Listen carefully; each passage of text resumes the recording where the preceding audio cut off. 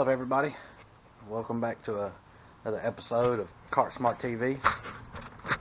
So today, we're gonna try to answer our number one question we get from you guys that pertain to the engine rebuild that we did. And thank you all for subscribing and liking and watching that video. It, it blew up more than we, way more than we expected. So thank you guys. So today, we are going to focus on how to get your engine shipped, which would be best UPS or FedEx ground. Uh, the only thing about that is, is you have to build a small box or crate to go in.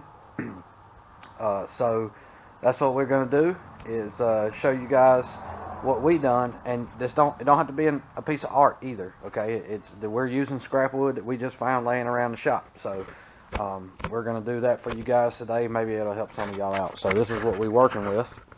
Is uh, you know we we honestly did not go out of our way to buy wood. Like I said, we just found pieces laying around here and we cut it down and measured out. Now, uh, if you are able to take your clutch off of your motor uh, you obviously can make this box a lot smaller.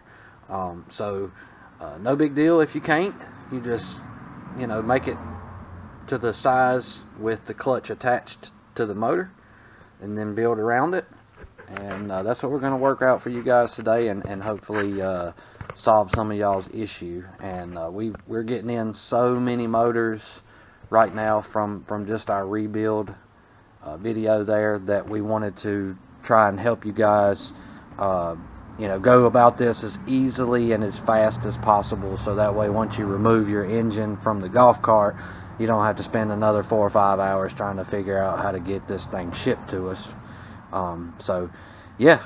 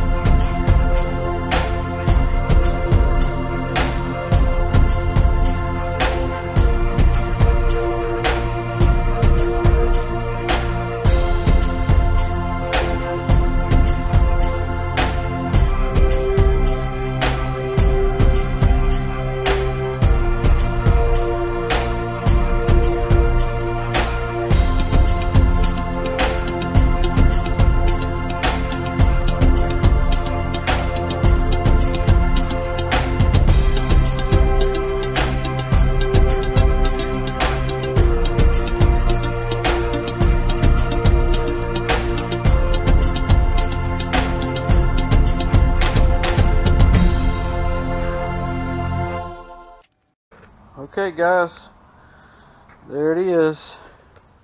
Motor's inside. We cut handles out in the in the two sides of it so it can be easily carried. And it took us about 30 minutes to do so. Um, again, we hope this will help some of you guys out. Um, our measurements will be linked in the description uh, possibly come across the screen on the video. Uh, may do both. Um, and this is this is a crate particular for the clutch still being installed. Uh, like I said, you can downsize this box a little bit if you are able to get the clutch off.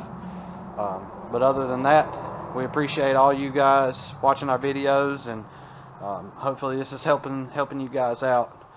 Uh, we appreciate everything. Uh, y'all just keep watching subscribe, hit that bell. Uh, we got more videos coming. Um, so enjoy y'all's day.